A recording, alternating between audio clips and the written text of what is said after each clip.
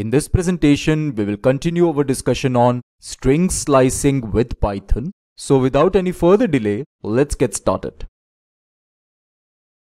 The first topic is negative third parameter and the second topic is reversing a string. We will first understand what is negative third parameter. We have already learned what is third parameter in the last lecture. Now let's recall what is the meaning of third parameter in slicing. The third parameter is also called as a step value and it defaults to 1. So the default value of step value is 1 and step value minus 1 specifies the number of elements to skip when slicing the string. So we first need to decrement step value by 1 and it specifies the number of elements to skip when slicing the string. So how many elements to skip can be judged from this step value minus 1. For example, if we go to our command prompt and type this command s equal to I am Jaspreet and if we hit enter, we obviously will not get any error message because this command is correct.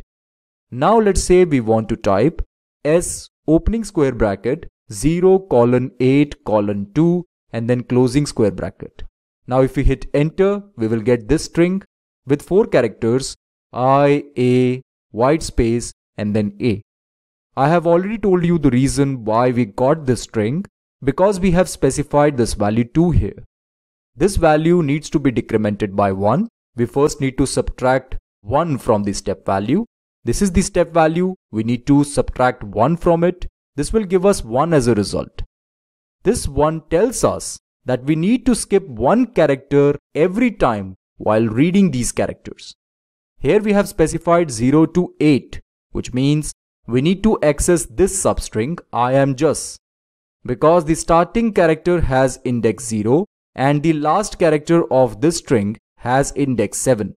And here we always need to specify the end index plus 1 of the substring which we want to access. Here we are interested in accessing this substring I am just and here we have specified value 2 as a step value. We first need to subtract 1 from it. This will give us 1 and this value 1 is telling us that we need to skip one character every time. So first we need to read this character, then skip one character and read this character. Then skip one character and then read this character. Then skip one character and then read this character. We are getting I, A and then white space and then A. After this we need to skip this character and read this character but we cannot read this character because we are done with our substring. This is the reason why we are getting this string. If something is unclear and if you want to understand this concept better, I would encourage you to pause this video and go back to the last lecture where we have understood this concept in details. We have understood what is slicing with the third parameter already in the last lecture. Now let's move on to the next topic which is negative third parameter. We now need to understand the working of negative third parameter. For this, we will consider the same example string that is I am Jaspreet and we will put the string within an array to better visualize the concept of negative third parameter. Now let us assume that we have typed this command in our Python interactive shell. We already know the working of positive third parameter. Here the first parameter is 2 which means that the starting point is index 2. In order to know the ending point or the stopping point, we need to subtract 1 from the second parameter. This will give us 9, which means that we need to stop here. And if we want to know how many elements we should skip, then we need to subtract 1 from the step value. This will give us 1, which means that while reading this entire string starting from 2 to 9, we should skip one element every time. This means that we must read this character, then skip this character, and then read this character. Then we need to skip this character, and then we need to read this character. Then we need to skip this character, and then read this character. Then we need to skip this character, and of course we need to stop here, because this is the stopping point.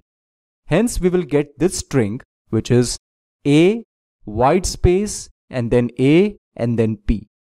So one thing is clear that the direction is left to right. which means that the direction of reading is from left to right as the third parameter is positive in this case. Now let us assume that we want to read this string from right to left, which means we want this string P, A, then white space and then A. In order to get this string, what should be the first parameter of S? What should be the second parameter and what should be the third parameter? This is what we need to determine. It is clear that the starting point should be this index. That is, we must start from here. We must read this character first. This means that the first parameter is 8. Now we need to determine the second parameter. In this case, we know that the second parameter should be 10 because we need to stop here at 9. This means that the second parameter should be 1 greater than the stopping point.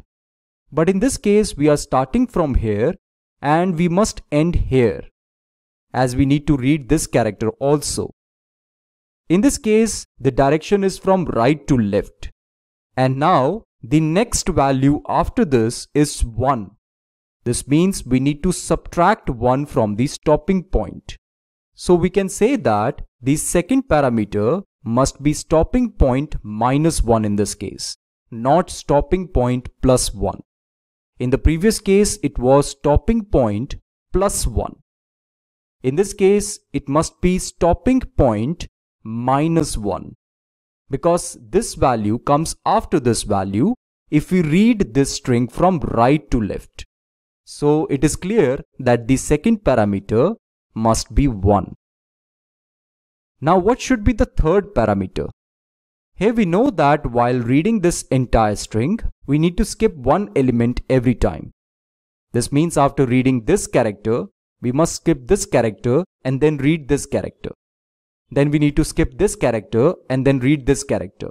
Then we need to skip this character and then read this character. And we must stop here. Hence it is clear that the third parameter needs to be 2. But not just 2. We need to mention minus also because now the direction is from right to left and not from left to right. So this is the significance of negative third parameter. Here minus sign is indicating the direction that is right to left. While in this case, if we won't mention any sign or if we add plus here, this indicates that the direction is from left to right. We need to read characters from left to right. So the direction in this case is right to left because the step value is negative. I hope this concept is clear. And now I would like to mention some important observations. The first observation is that in order to know the number of elements we need to skip, we need to subtract 1 from this value, that is the third parameter. While in this case, we need to add 1. Because minus 2 plus 1 will give us minus 1. And this indicates that we need to skip one element but we need to read the characters from right to left as minus sign indicates that we need to read the characters from right to left.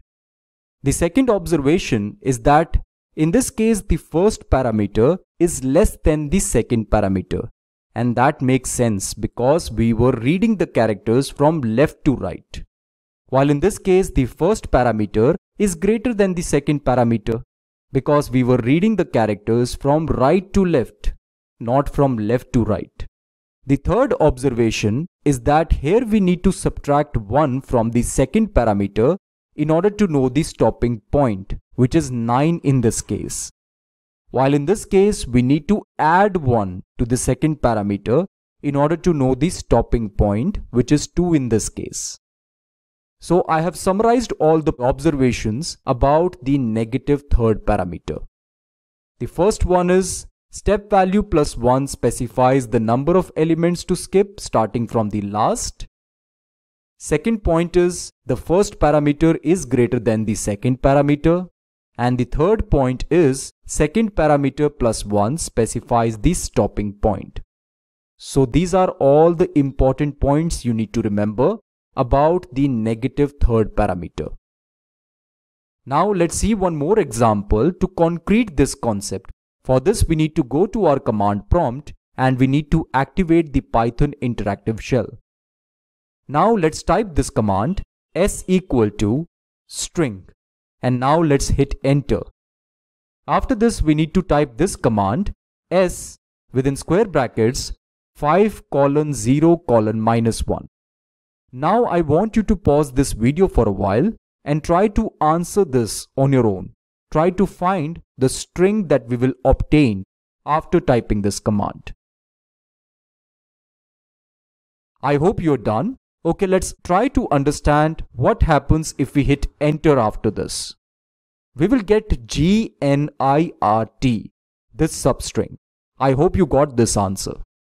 If not, then no problem. Let's understand this together. Here the first parameter is 5 second parameter is 0 and third parameter is minus 1. So the starting point is 5 which means we need to start here. And in order to know the stopping point, we need to add 1 to the second parameter. This is what we have learned. We need to add 1 to the second parameter which will give us 1 as a result because 0 plus 1 is 1. This means we need to stop here. And here the third parameter is minus 1. Minus indicates the direction and this means that we need to read this string from right to left. And to this value, this entire value, we need to add 1 in order to know the number of elements to skip. As it is mentioned in the first point, step value plus 1 specifies the number of elements to skip. So we need to add 1 here and this will give us 0, which means that we should not skip any character. Hence, we should start from here and end here and we should not skip any character. This means that we will get this string G-N-I-R-T. So this is the string so obtained. I hope this is clear. Now as we have understood how to obtain the substring of a string in reverse order using negative third parameter, let's now try to understand how to reverse the entire string with the help of negative third parameter. We can easily reverse a string with the help of negative third parameter. We need to provide minus 1 as the step value in order to reverse the entire string. For example, if we type s equal to I am Jaspreet, hit enter. Now let's type s opening square bracket colon colon minus 1 closing square bracket. This will reverse this entire string. Why is that the case? We have not specified the first parameter and the second parameter, which means that we want to read this entire string. But as we have specified minus 1 here, we need to read this entire string from the last character to the first character. And here we need to read every character because this value is minus 1. We need to add 1 to it, we'll get 0 as a result which means we should not skip any character. Now if we hit enter, we will get this string. This is the reverse string. So we can easily reverse a string in Python. We just need to perform this step. That's it. I hope this idea is clear. Let's consider one more string. Let's say s is equal to string. Hit enter and now let's type s colon colon minus 1. This time we have specified again the same thing. Now if we hit enter, we will get G-N-I-R-T-S. This string is reverse of this string. So this is all we need to understand about reversing a string. So now we are done with this topic. We have understood what is negative third parameter and we have understood how to reverse a string.